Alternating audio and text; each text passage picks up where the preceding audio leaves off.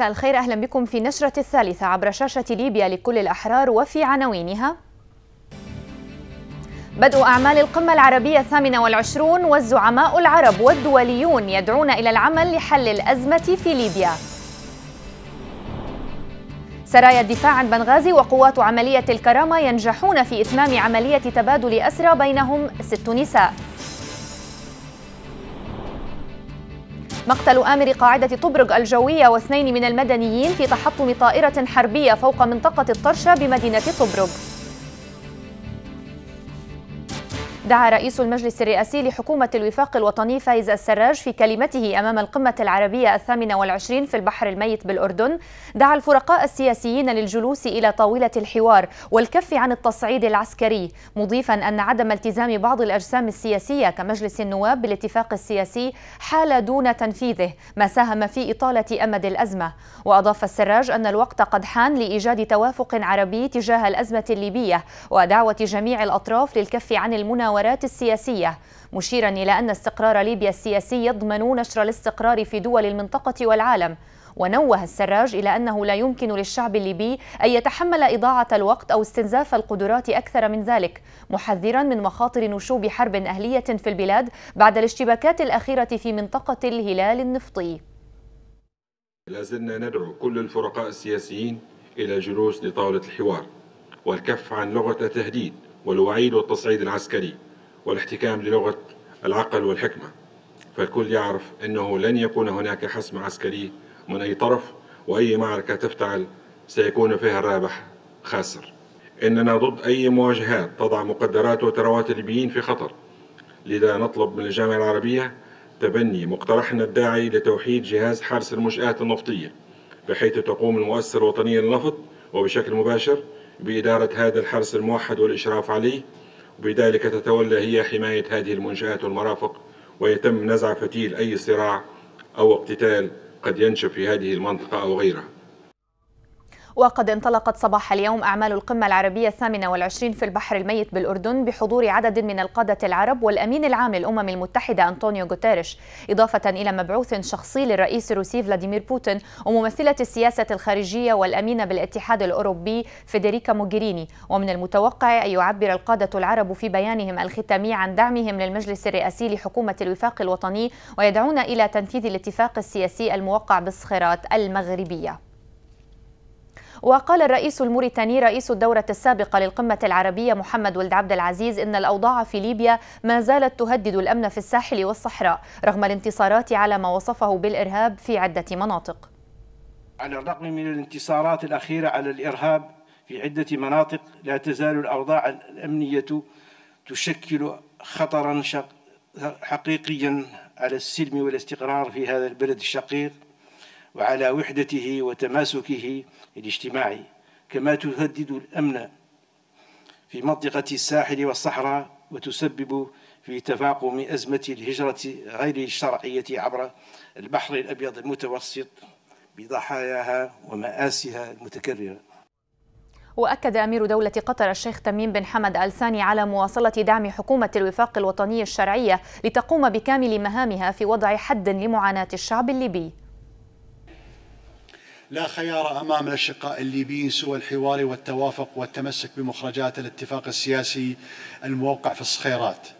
والمضي قدما في طريق التسوية السياسية لتشمل جميع القوى السياسية في ليبيا دون إقصاء. ولكن مع رفض الفوضى وعودة الدكتاتورية وهما أصلا وجهان لعملة واحدة.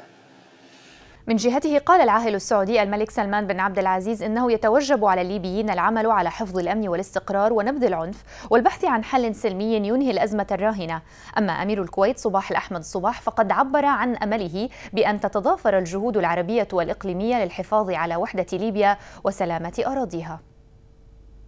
في السياق قال الأمين العام للأمم المتحدة أنطونيو غوتيريش أنه يمكن لليبيا الخروج من دوامة العنف والصراعات خلال العام الحالي إذا ما تم العمل على ذلك بشكل مشترك. وأضاف غوتيريش خلال كلمة ألقاها أمام القادة العرب في القمة العربية أن الأمم المتحدة تعول على شراكة مع الجامعة العربية لتجنب الصراعات والنزاعات في المنطقة معربا عن أمله بتشكيل عالم عربي قادر على حل مشاكله من خلال الحوار. من جهتها قالت مسؤولة السياسة الخارجية في الاتحاد الأوروبي فيدريكا موغريني إن هناك تعاونا وتنسيقا بشكل مستمر لحل الأزمة في ليبيا في إطار الاتفاق السياسي. تعاوننا مهم جدا لحل المشكلة في ظل الاتفاق والوفاق هو مسؤولية الليبيين بالدرجة الأولى لكن علينا أن ندرك كمجتمع دولي وكذلك كمنطقة أنه لا يمكننا أن نساعد أصدقائنا الليبيين إلا من خلال تضافر الجهود لذلك انضم الاتحاد الأوروبي إلى اللجنة المتعلقة بالحل في ليبيا. ينضم إلينا عبر الهاتف من البحر الميت مساعد رئيس تحرير جريدة الدستور الأردنية عون الداود سيد داود مساء الخير. كيف تبعتم الجلسة العامة للقمة العربية اليوم وأبرز ما أشار إليها المجتمعون اليوم في كلماتهم؟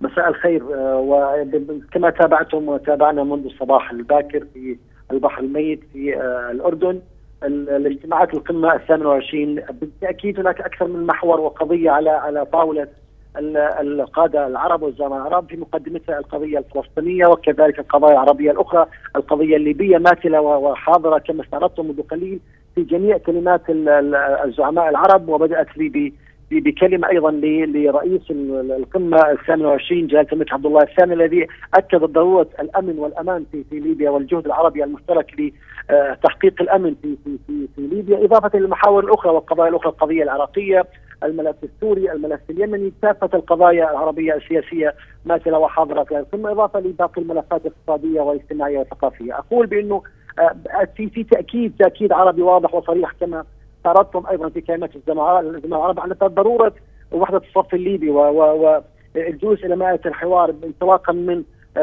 الاتفاق أو الاتفاق السياسي في مؤتمر الاشتراك 2015 إضافة إلى المبادرة التونسية وبدعم من الجزائر ومصر لضرورة إيجاد حل الأزمة الليبية حيث أكد في تأكيد أيضا ضرورة منع التدخلات الأجنبية بمعنى آخر أنه مهم جدا الحل الخلاف العربي عربيا وداخل الأراضي الليبية الشقيقة بحيث أن يكون هناك وحدة حال وتغليب المصلحة الوطنية. العليا مصلحة ليبيا مصلحة الاشقاء في ليبيا. على بعض المصالح الضيقة لبعض الفرقاء. أقول بأنه هناك إجماع عربي من كافه الزعماء العرب على ضرورة حل ليبي سريع. وحتى يعني في دعم أممي أيضا في كلمة امين الامم المتحده كان هناك حرص وتمني على نتمنى أن يكون عام 2017 عام الحل للازمه الليبية إن شاء الله. نعم سيد الداود كيف تتوقع أن يكون حضور الملف الليبي في نقاشات ولقاءات المجتمعين وترتيباتهم بالنظر للملفات الأخرى المطروحة؟ واضح جدا بأنه من أهم الملفات يعني لم تخلو أي كلمة لأي زعيم عربي من تفصيل في القضية الليبية ورؤية واضحة وإجماع عربي واضح وصريح على ضرورة أن يكون كحل ليبي سريع ولا يكون ذلك إلا بمبادرة وحرص ليبي داخلي والمساعده على ذلك. في في كلمة العالي السعودي كان تأكيد. العالي الأمير الكويت الأمير القطر وكل الزعماء العرب أيضا في, تونس كلمة الرئيس التونسي. هناك حرص واستعجال القضية الليبية لأنه هناك صدقا واضح تماما هناك في مشكلة في في تطبيق الآليات، هناك اتفاق موجود اتفاق مؤتمر صخيرات في 2015 ولكن يبدو أنه التطبيق على أرض الواقع هناك معوقات. نتمنى أن يكون هناك جلوس سريع على مائدة الحوار الليبي الليبي العربي. وأعتقد قد يكون مخرجها المبادرة التونسية والجزائرية المصرية قد تكون مبادرة سريعة. إن يعني توافقت معها الفرقاء الليبيين. أعتقد سيكون هناك جلوس طاوله مفاوضات. ونتمنى أن يكون هناك حل سريع، أقول بأن هناك في حضور وقوة للملف الليبي في القمة نعم. وأعتقد سيكون هناك في أكثر من محور في الختام. شكرا جزيلا لك عوني الداود مساعد رئيس تحرير جريدة الدستور الأردنية كنت معنا من البحر الميت أشكرك شكرا جزيلا. في السياق شدد نائب رئيس الوزراء السابق عوض البرعسي على أهمية التوافق العربي بخصوص إنهاء الأزمة الليبية عن طريق التواصل إلى التوصل إلى اتفاق سلام يعالج كل قضايا الاختلاف التاريخية والحديثة التي قادت إلى نشوب صراعات عسكرية وسياسية وجهوية. وقال البرعسي إن القمة العربية في عمان تأتي في ظل تأزم القضية الليبية التي تدخل الحرب الأهلية فيها عامها الرابع دون توصل الأطراف المتنازعة إلى حل ينهي الاقتتال والانقسام حسب قوله. كما نوه البرعسي على أهمية وجود إجماع عربي يرفض الحرب بين الليبيين تحت أي مبرر قد تقدمه الأطراف المتصارعة.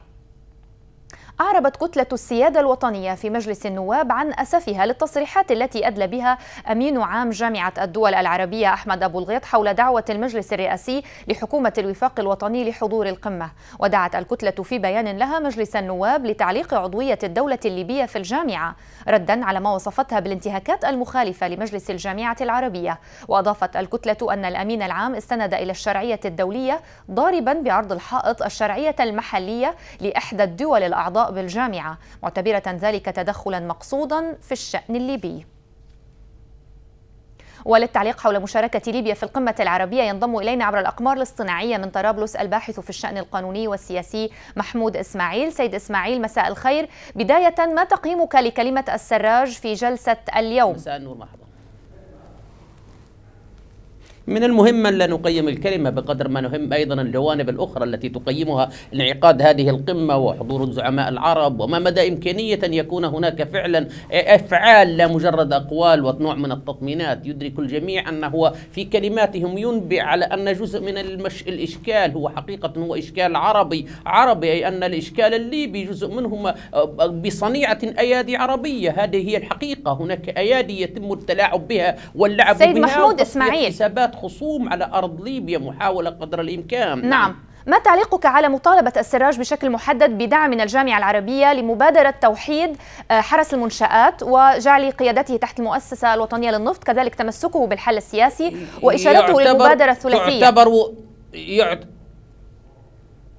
يعتبر طلبا طلبا جيدا وإن كان فيه تدخلا بالشكل السلبي من هذه الدول أي أن هذه الدول فاعلة. اذا هناك مطالبة يجب أن تكون جريئة وصريحة برفع أيدي التدخل فيما يتعلق بالشأن الليبي والمحلي ألا وهو من قبل حفتر سواء كان من مصر أو من الإمارات أو من غيرها من الدول. على أن يكون هناك طلبا محدد نتمنى أن لا يوجد تدخل مهما كان وأن ينطوي الجميع تحت لواء دولة واحدة.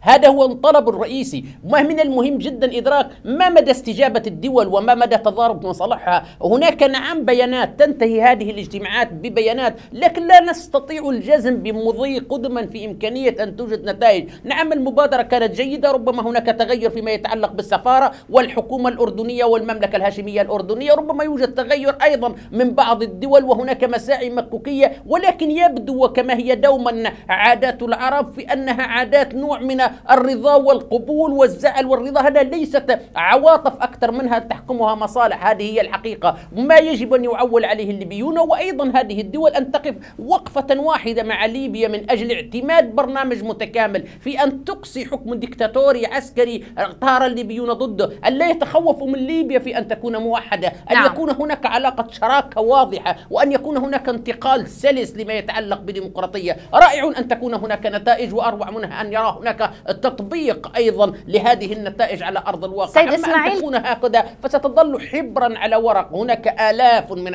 القرارات دون أن يكون لها نتائج. ما يلفت الانتباه هو حضور نعم. الملفت لما يتعلق ببعثة الأمم المتحدة والأمم المتحدة وأيضا الاتحاد الأوروبي وغيرها من المهتمين. اذا هناك إن الجميع يجمع على أهميتها. ويبدو أن هناك بوادر حل من خلال إشارتهم بأنه ربما 2017 ستحدث تغييرا. عندما يتم تغيير مارتن كوبلر الذي سينتهي مع نهاية مارس إذا هناك نقلة نوعية. ربما يبدو واضحا أن العالم يتجه إليها وهذا دلالة على أن نعم سيد إسماعيل. الرئيسي في السياسة الليبية كيف تعلق على ما أصدرته كتلة السيادة الوطنية في مجلس النواب بشأن عدم رضاهم عن الجامعة العربية بسبب ما اعتبروه تدخلا في الشأن الليبي الداخلي بعد توجيه دعوة الحضور فقط للمجلس الرئاسي.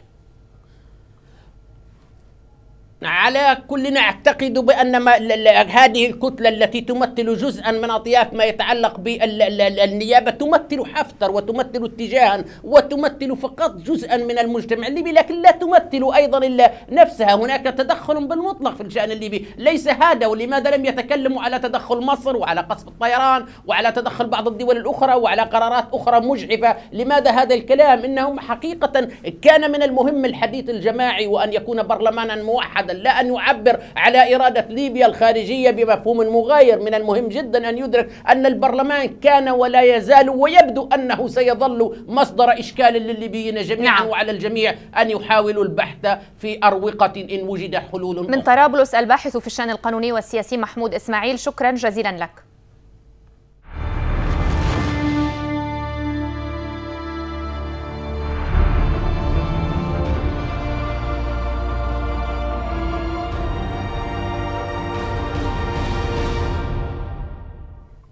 أفرجت قوات عملية الكرامة على عدد من المحتجزين بينهم ست نساء كن محتجزات في سجون تابعة لقوات عملية الكرامة شرقية ليبيا.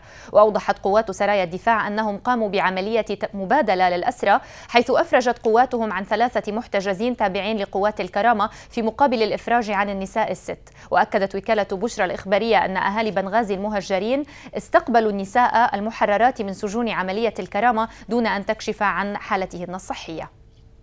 نحب أن نوصل رسالنا لهلنا وعربنا وشيبنا في برقة. نقول يعني النقطة هذه ممكن تسجل في التاريخ. يعني ثلاث جنود بنساء. المفروض النساء هذه في المعادلة بكر ونسأل الله أن يفك جميع اسرانا وأبنائنا من من المنطقة الشرقيه هذا وأفادت قوات سرايا الدفاع عن بنغازي بأن مشايخ منطقة الجفرة وهراوة وأعيان المنطقة الشرقية شاركوا في عملية تبادل المحتجزين لافتة إلى أنهم بذلوا كامل جهودهم في سبيل إنجاح هذه العملية. وأعربت قوات السرايا عن بالغ امتنانها لما تم بذله من جهود في سبيل إخراج النساء المحتجزات من سجون قوات عملية الكرامة داعية الوسائل الإعلامية إلى التريث في نقل الأخبار والابتعاد عن أساليب الاستفزاز والتشفي وفق تعبيرها. اعتقلت الأجهزة الأمنية بمدينة بنغازي مصور وكالة فرانس بريس الإخبارية عبد الله دوما على خلفية قيامه بتصوير الاحتفال بساعة الأرض في جامعة العرب الطبية ببنغازي دون إذن من الحاكم العسكري. من جهتها قالت الباحثة في الملف الليبي بمنظمة هيومن رايتس ووتش حنان صلاح عبر تغريدة لها على موقع التدوينات المصغرة تويتر إن السلطات الأمنية في بنغازي أفرجت اليوم عن ثلاثة أشخاص من منظمي احتفالية ساعة الأرض لافتة إلى استمرار احتجاز عبد عبد الله دوما.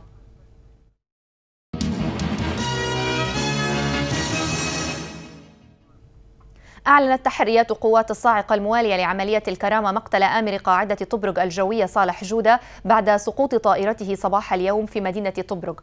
وفي السياق نفسه أعلن مركز طبرق الطبي عن استقبال جثمان العميد طيار صالح جودة ومواطنين اثنين كانا قد أصيبا جراء تحطم الطائرة. وأضاف مركز طبرق الطبي أن الطائرة ارتطمت بمنزل أحد المواطنين في المدينة وهو ما تسبب في مقتل رجل وزوجته وفق المركز الطبي طبرق.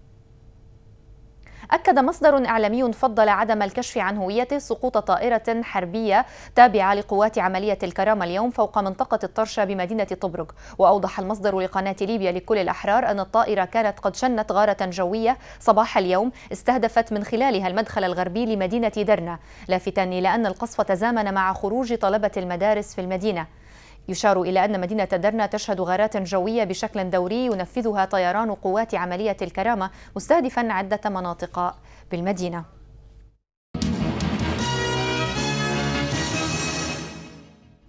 قال المتحدث باسم قبيلة التبو محمد صندو إن لقاء إيطاليا بين قبائل التبو وأولاد سليمان والطوارق بحث المصالحة الشاملة في الجنوب وقضايا التنمية وأمن الحدود والهجرة غير النظامية وكيفية التعايش السلمي بين كافة القبائل ومكونات المنطقة الجنوبية. وأوضح صندو لقناة ليبيا لكل الأحرار أن الاجتماع جاء بعد تنسيق بين حكومة الوفاق الوطني والحكومة الإيطالية. قال رئيس لجنة الأزمة لنازحي أوباري السني الياس أن الأوضاع الإنسانية لنازحي أوباري بعدة مدن في غرب البلاد وجنوبها في غاية الصعوبة. وأوضح الياس لقناة ليبيا لكل الأحرار أنه رغم النداءات المتكررة للمسؤولين بالدولة إلا أنه لا توجد أي استجابة لرفع المعاناة عن النازحين والبحث عن حلول لمشاكلهم وإنهاء معاناتهم بحسب قوله. وأضاف رئيس لجنة الأزمة لنازحي أوباري أن النازحين في حاجة وبشكل عاجل للمساعدات وجبر الضرر وتعويضهم عن الخسائر التي لحقت بمنازلهم وممتلكاتهم. جراء الأحداث التي شهدتها أوباري. نواصل هذه النشرة بعد الفاصل وفيها. في ظل نقص السيولة لجنة أزمة الوقود والغاز تطالب المحطات بقبول الصكوك النقدية المصدقة.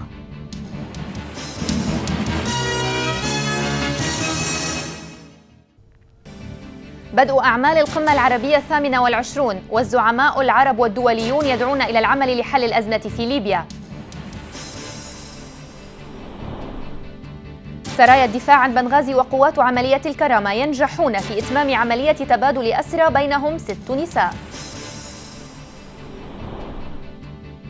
مقتل آمر قاعدة طبرق الجوية واثنين من المدنيين في تحطم طائرة حربية فوق منطقة الطرشة بمدينة طبرق.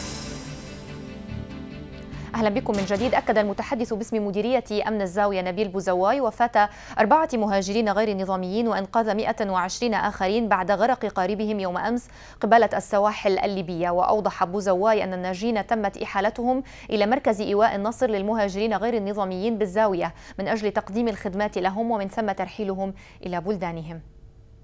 قال وزير الصحة المفوض في حكومة الوفاق الوطني عمر بشير إنهم يحاولون بالتعاون مع المنظمة العالمية للصحة والاتحاد الأوروبي خلال اجتماع يعقد في تونس إعادة أحياء قطاع الصحة في البلاد ضمن مشروع الاتحاد الأوروبي لتقوية النظام الصحي والمعلومات في ليبيا. نحاول من خلال المنظمة ومن خلال الاتحاد الأوروبي في تونس إعادة إحياء هذا التعاون وهذا الدعم للقطاع. لا شك أن الوضع يحتاج إلى وقفة جادة من الجميع من المسؤولين من العاملين في القطاع. سمعنا بأن هناك أرقام خصصت لدعم قطاع الصحة من ليبيا من خلال الاتحاد الأوروبي. آه، فهذا يحتاج تخطيط تخطيط جاد لاستثمار هذا المبلغ في في الرفع من قطاع الصحة والنهوض به. هذا وقد أكد الناطق الرسمي باسم منظمة الصحة العالمية في ليبيا أحمد العلاقي أن مشروع الاتحاد الأوروبي لتقوية النظام الصحي في ليبيا يرتكز على عنصرين وهما النظام المعلوماتي في ليبيا والأدوية وشراؤها وتوزيعها وتخزينها. مشروع الاتحاد الأوروبي لتقوية النظام الصحي في ليبيا. يرتكز هذا المشروع على تقوية النظام الصحي من خلال آه، الجزئين آه، مهمين وهو من أعمدة النظام الصحي لأي دولة كانت وخصوصا ليبيا وهو النظام المعلوماتي في ليبيا وكذلك نظام آه، الأدوية وشرائها وتوزيعها وكذلك تخزينها. من جانبها قالت سفيرة الاتحاد الأوروبي في ليبيا بيتينا موتشايد أنها جاءت تحمل مشروعا سيساعد على بناء قاعدة قوية للقطاع الصحي بليبيا والذي يدفع ثمن تأزمه المرضى ممن يحتاجون بشكل مستمر ومتواصل لأدوية باتت نادرة التوفر في ليبيا. Uh, نحن جئنا هنا لعرض مشروع مهم يتضمن تخصيص ثلاثة ملايين وستمائة ألف يورو لدعم نظام المعلومات الصحي في ليبيا والإمداد الصحي في البلاد.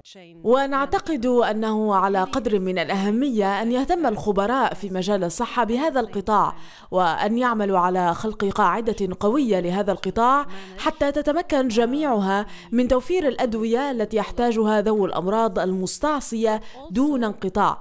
وفي هذه النقطة يكون هذا المشروع قد جاء ليعالج هذا الموضوع الحساس والمهم. طلبت لجنة أزمة الوقود والغاز من جميع مشرفي ومحطات الوقود وموزعي الغاز بكافة المناطق الليبية فتح باب قبول الصكوك النقدية المصدقة من المواطنين بقيمة 500 دينار. وأضافت اللجنة عبر صفحتها على موقع التواصل الاجتماعي فيسبوك أن هذه الخطوة تأتي نظرا لعدم توفر السيولة النقدية في المصارف فضلا عن قرب حلول شهر رمضان المبارك. أطلق المجلس البلدي ترهون أمس الثلاثاء حملة لإزالة المباني العشوائية التي تم بناؤها بطرق غير قانونية في أراض تابعة للدولة بوسط المدينة. وأوضح المجلس البلدي ترهون على صفحته الرسمية عبر موقع التواصل الاجتماعي الفيسبوك أن هذه الخطوة تأتي من أجل إقامة متنزه مخصص لذوي الاحتياجات الخاصة بترهونة وفي الختام هذا تذكير بعناوين النشرة. بدء أعمال القمة العربية الثامنة والعشرون والزعماء العرب والدوليون يدعون إلى العمل لحل الأزمة في ليبيا. سرايا الدفاع عن بنغازي وقوات عملية الكرامة ينجحون في إتمام عملية تبادل أسرى بينهم ست نساء. ومقتل آمر قاعدة طبرق الجوية واثنين من المدنيين في تحطم طائرة حربية فوق منطقة الطرشة بمدينة طبرق. تابعوا المزيد من الأخبار عبر ليبيا الأحرار تي في على مواقع التواصل الاجتماعي فيسبوك تويتر ويوتيوب. شكرا لكم على حسن المتابعة. إلى اللقاء.